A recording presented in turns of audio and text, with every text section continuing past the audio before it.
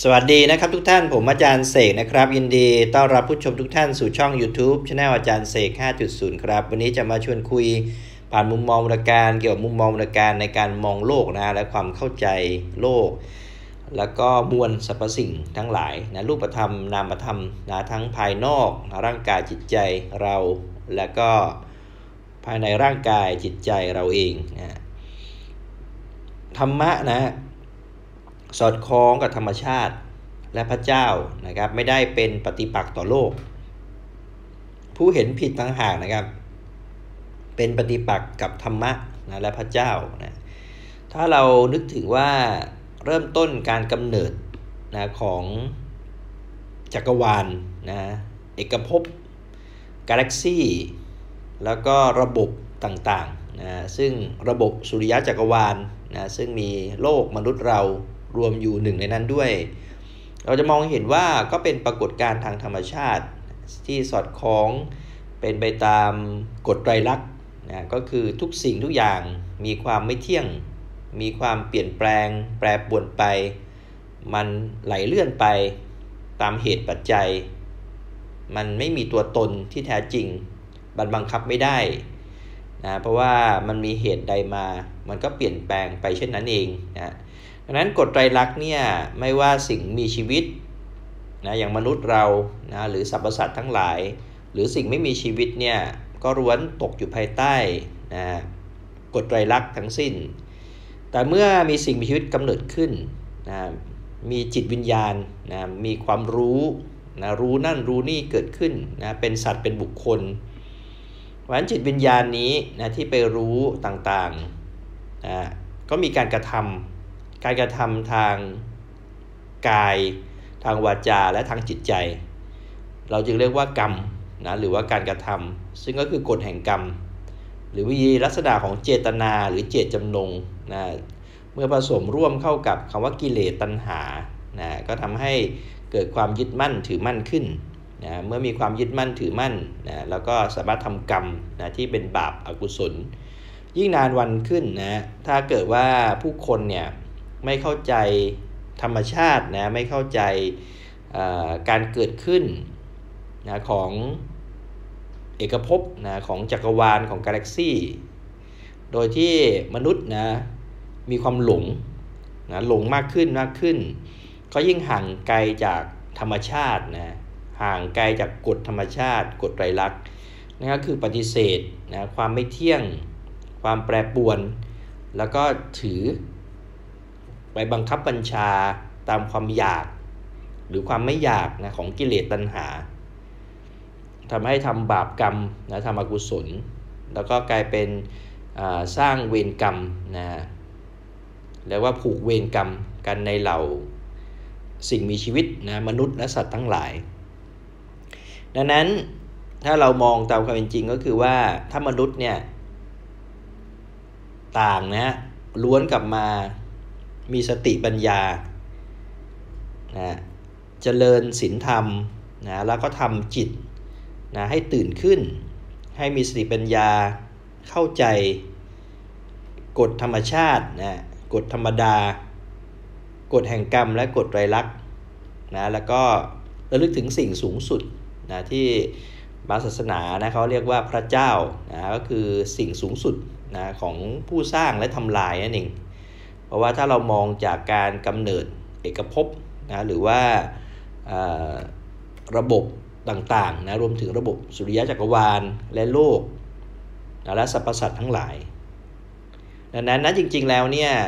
เราจะบอกว่าธรรมะนะสอดคล้องกับธรรมชาตินะและพระเจ้านะที่ผู้คนนับถือว่าเป็นสิ่งสูงสุดนะสิ่งดีงามนั่นเอง ไม่ได้เป็นปฏิปักษ์ต่อโลกนะธรรมะนี้ไม่ได้เป็นปฏิปักษ์ต่อ มนุษย์นะต่อสัตว์ทั้งหลาย เพราะว่าธรรมะนี้สอดคล้องหรือจะพูดว่า มีสติปัญญารู้เห็นตามความเป็นจริง สอดคล้องธรรมชาตินะสอดคล้องตามกฎธรรมดานั่นเองดังนั้นวัฏจักรของการเปลี่ยนแปลงเนี่ยไม่ใช่เฉพาะในเรื่องของเอกภพจักรวาลกาแล็กซี่นะแม้แต่ในพื้นโลก เราจะเห็นปรากฏการณ์ธรรมชาติมากมาย ที่มีความเปลี่ยนผัน แปรปรวนไปนะอย่างเรื่องของพายุฝนฟ้าขนองภัยพิบัติทางธรรมชาตินะมีความเกิดขึ้น มีความแปรปรวนเปลี่ยนแปลงไปนะเราจะมองเห็น สิ่งเหล่านี้จริงๆแล้วเนี่ยเราจะบอกว่าเป็นเครื่องเตือนใจมนุษย์ก็ได้ ว่ามนุษย์เนี่ยถ้าเทียบกับธรรมชาตินะเทียบกับพระเจ้าสิ่งสูงสุด มนุษย์นี่ ตัวนิดเดียวนะฮะไม่ได้มีอำนาจที่จะไปต้านทานนะกับธรรมชาตินะหรือพระเจ้าเลย ดังนั้นผู้ที่ฝึกฝนเจริญสติปัญญาจริง ๆ เข้าใจศีลธรรมจริง ๆ เนี่ย ก็จะใช้ชีวิตนะที่สอดคล้องนะกับธรรมชาตินะแล้วก็สิ่งสูงสุด ก็คือเข้าใจกฎความเป็นธรรมดานะ กฎแห่งกรรม แล้วกฎไตรลักษณ์เข้าใจถึงความเปลี่ยนแปลง แปรปรวนไปตามเหตุปัจจัย ดังนั้นจึงมีสติปัญญาในการตั้งตนอยู่ในความไม่ประมาท และไม่สร้างบาปอากุศล ไม่เบียดเบียนซึ่งกันและกัน เพราะเราจะเห็นว่ามนุษย์นี่เทียบกับธรรมชาติแล้ว เป็นอะไรที่เล็กมาก แต่เนื่องจากมีความหลงนะมีความอาหังการมะมังการนะเราลองเทียบดูกับ ธรรมชาตินะที่แสดงอำนาจออกมา ไม่ว่าจะเป็นแผ่นดินไหวภูเขาไฟระเบิด เพศภัยต่างๆนะไม่ว่าจะเป็นในเรื่องของพายุใหญ่น้ำท่วมนะฮะแล้วเราจะมองเห็นว่า สิ่งต่างๆที่เกิดจากธรรมชาติเนี่ยกำลังสอนมนุษย์ แต่มนุษย์นะเนื่องจากว่าจิตเนี่ยถูกความหลงนะความไม่รู้ความเห็นผิดเนี่ยปกปิด มนุษย์ก็พยายามที่จะไปควบคุมธรรมชาตินะพยายามที่จะไปสำคัญมั่นหมายนะว่าตนเองเนี่ย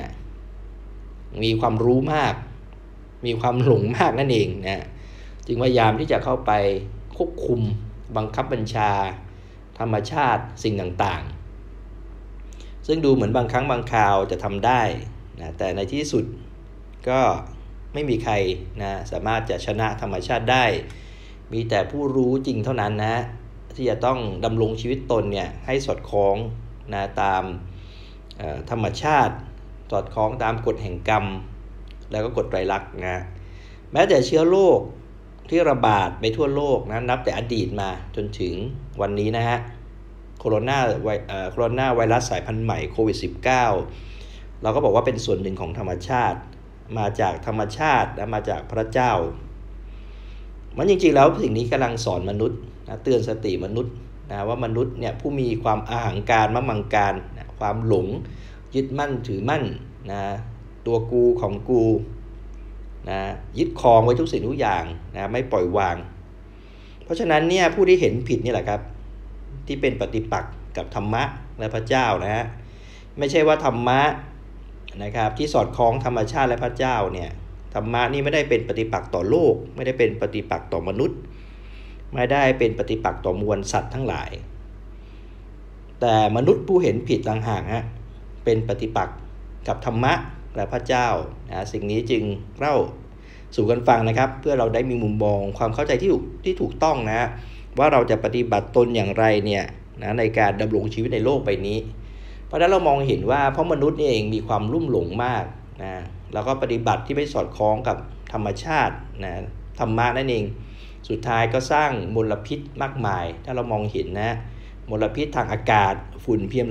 2.5มลพิษทางน้ำนะของเสีย บางทีก็สุดท้ายก็นำไปสู่การเกิดโรคระบาดแปลกๆ ใหม่ๆ ที่ผมบอกนะครับโควิด -19 ก็จะเป็นกรรมตัดรอนนะเป็นธรรมชาตินะเป็นพระเจ้าที่ส่งมาเตือนมนุษย์ แต่ผมก็ยังเชื่อว่านะสิ่งที่มนุษย์ได้สร้างได้ทำไปในหลายทศวรรษกรรมที่ทำไปนะด้วยความหลงด้วยความไม่รู้ ด้วยความอาหารการมั่มังการ มันยังคงไม่ได้จบอยู่เท่านี้นะ มนุษย์ยังคงจะต้องรับผลกรรมหรือการกระทำที่ตนเองทำมานะครับ ต้องตื่นขึ้นมานะครับอันใครชอบนะฝากไลค์แชร์สนใจก็สามารถสวัสดีตามครับในช่อง YouTube ช anel อาจารย์เสกข้าจุดสุดนะครับ ก็ขอได้สติปัญญา และผลภัยในวิกฤตทุกท่านนะครับ เจอกันใหม่คลิปหน้า สวัสดีครับ